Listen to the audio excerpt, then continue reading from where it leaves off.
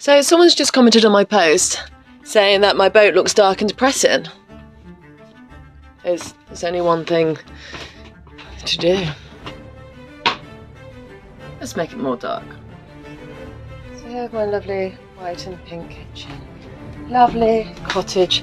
Cozy. Messy, but cozy.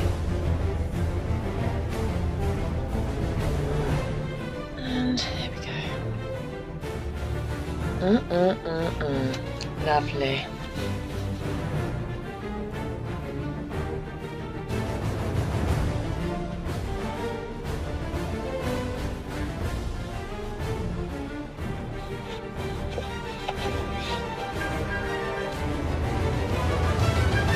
Here we have a glorious noir kitchen fit for Lucifer himself.